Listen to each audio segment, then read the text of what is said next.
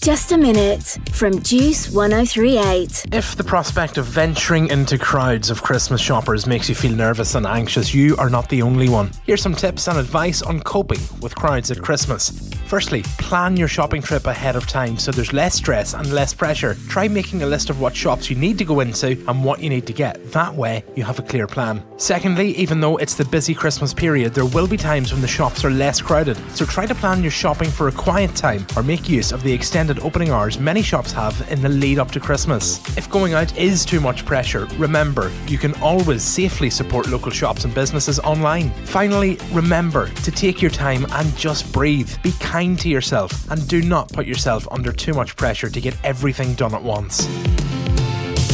2020 has been difficult for lots of us. For helpful advice, if you're not feeling yourself, tap support at juiceonair.com.